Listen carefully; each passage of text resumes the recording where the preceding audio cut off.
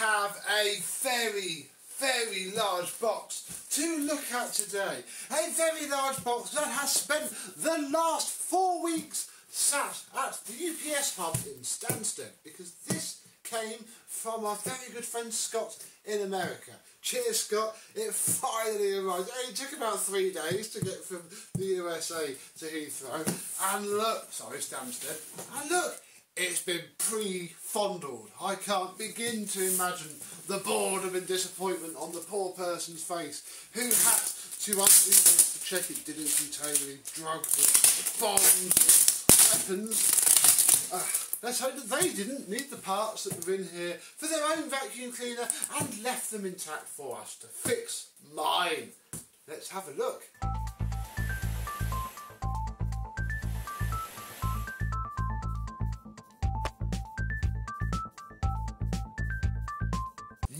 Hello, my vacuum cleaner chums. How are you today? Yeah, that's why this took so long to come through. It was just sat in customs.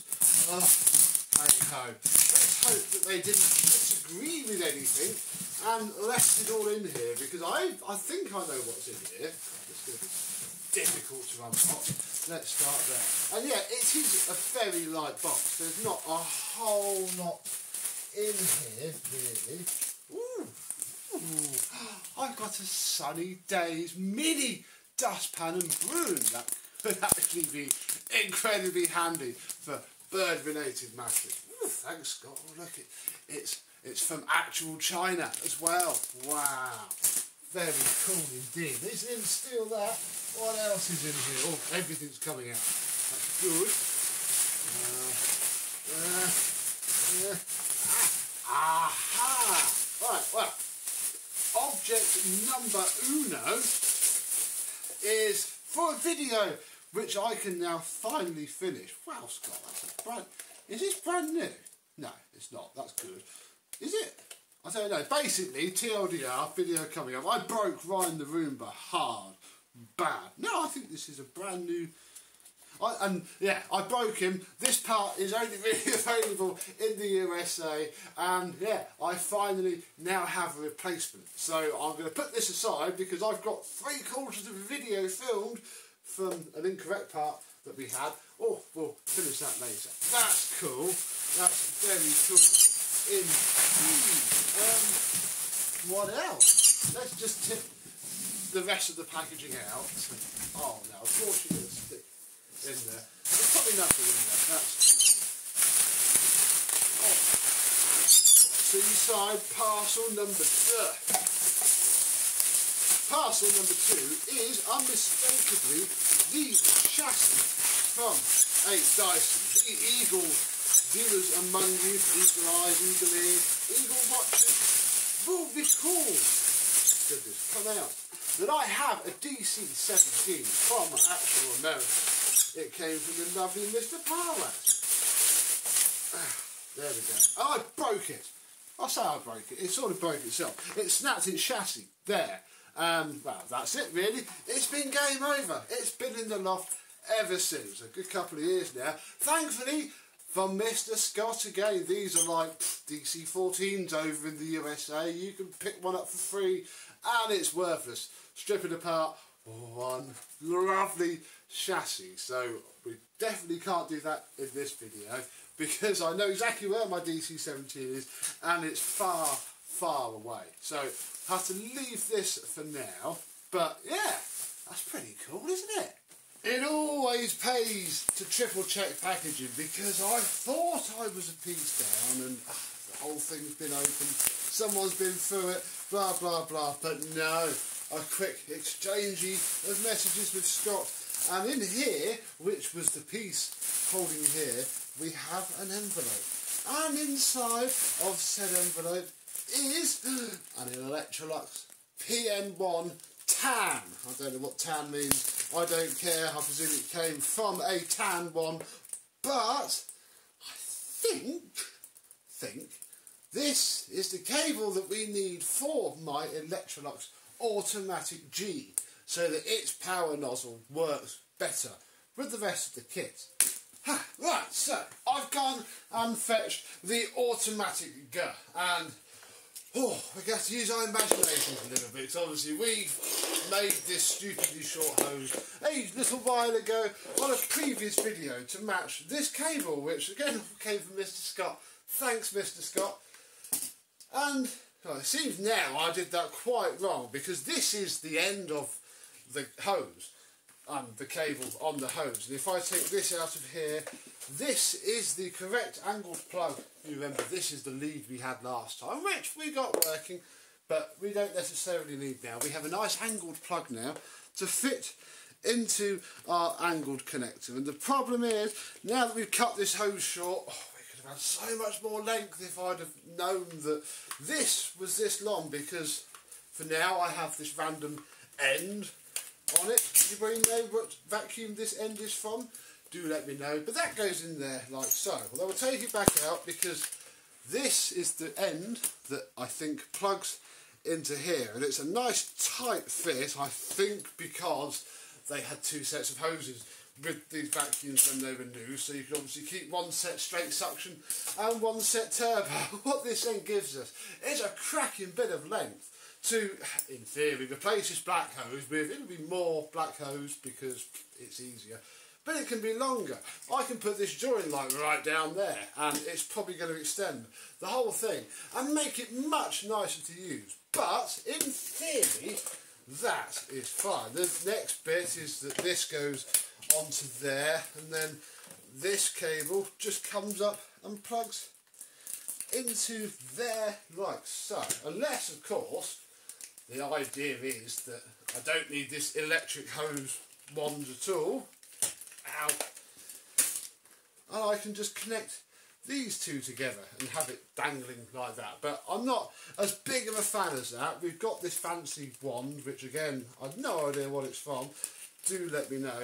We may as well fit that back there and make the most of having this extra slack up here. One day, not going to bother now, to tidy this up. Since we got it all out there, we may as well give it a go, eh? Here she is then, the Green Beauty. Ooh, this likes this one. Wow, very nice. Indeed. That's very nice. Yeah, this home is ruining the entire experience, but is only temporary. Oh, doesn't it sound smooth?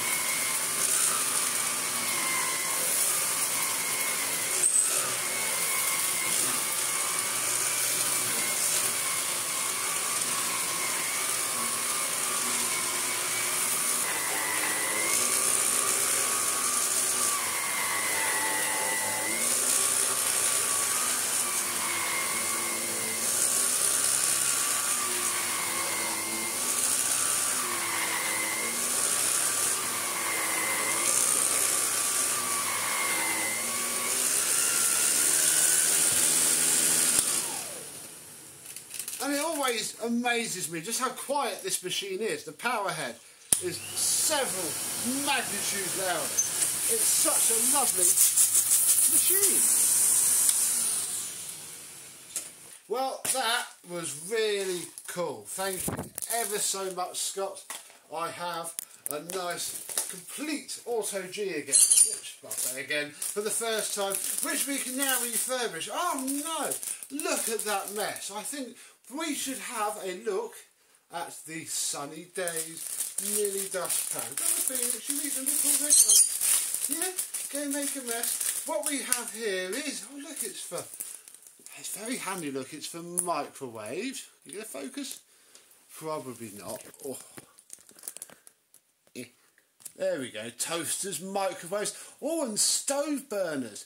Hang on a hook in the kitchen or around your desk. Well, we'll give it a go on the floor maybe. It comes as this compact two-piece unit and the pan clips onto the brush and off we go. And yeah, you can sweep rubbish away. Oh no, it falls out though. That's a bit pants. Felix, get off the phone, man. Trying to clean up your food. Look, don't say look, you're going to have some from the dustpan. Go on then. Go on, look. Yeah? Oh, what do you think? Look, it can be a food tray for a conure. What do you think? I think it's pretty good. The bristles, oh, trying to scare him, are nice and stiff. I think this might actually sit on my desk by a hook because I get this all day from like above my head from a shelf. And it's always in need of a clean. That's why the Numatic quick and the MBV get so much use. A lot of it's just on my desk. So this will be very cool. Thank you very much, Mr. Scott. I guess I'd best let Phoenix sit there and enjoy his food and say thank you very much for watching me unbox all of this stuff. I can finish off my Roomba video and I can I'll give this a wash first, then dig out and maybe even film the repair on my DC-17. And the Automatic G is now complete and ready for refurbishment. The only thing stopping it now is my own procrastination, which is reasonable enough and may take a little while to sort. Oh, that's better. So yeah, we have some work to do, some stuff now to fix stuff because this needs doing anyway. And a question, Phoenix. A question, he wants these, look. Come on, look. Oh, where do you dare get them? You get them in it? Come on. Come on. Oh no, he knows they're on the floor. We'll leave it there. Yeah, question for those of you what have done this before. Anything I need to look out for on an automatic G because it's now ready for refurbishment. It's ready for a much longer hose and hopefully this wire doesn't need extending. But if it does, it gets extended. And we have a nice complete vacuum cleaner once more. A vacuum cleaner to repair and a robot to, well, I say fix, this is just going to slot straight in. So I could probably finish off the video that's been sat in my projects folder for the last nearly a year, no it can't be a year, six months maybe, and get that done as well. So thank you very much Scott, and thank you all very much for watching. I you have enjoyed, and I, and this stuff and that bird. We'll see you soon. Bye bye.